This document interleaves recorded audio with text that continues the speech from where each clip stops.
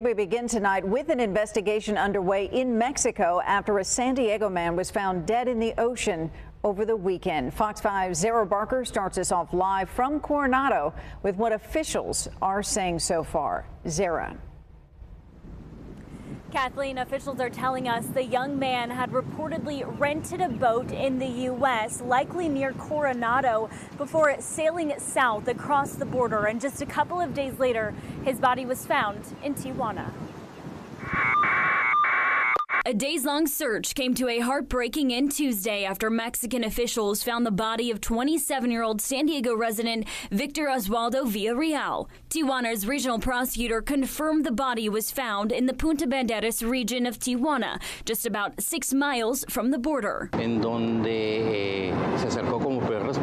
The first responders, Secretary of the Marina, saw a body by the coast and then immediately let the attorney's office know to begin the investigation process. And once they were there, a family member of the victim recognized him as the missing young man by his tattoos. Our reporting partners at the San Diego Union Tribune have confirmed Victor rented a boat in the U.S. and spent the day with his family on a Tijuana beach when he was last seen Friday swimming to the boat before he went missing. A days long search ended over the Easter weekend with multiple agencies on both sides of the border, including Imperial Beach lifeguards searching for him.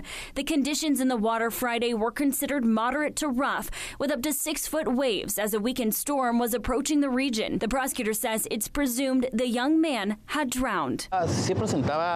Eh, he had injuries on his body, probably from the tumbling in the ocean, but we can't determine exactly what injury caused his death yet. According to friends, Victor had attended Otay Ranch High School and loved the outdoors. His uncle, a congressman in Tijuana, posted on social media Tuesday remembering his young nephew, saying, quote, I just want to share that the memories are full of love and affection that we have with Victor Victor in our hearts. It brings us peace in this difficult time.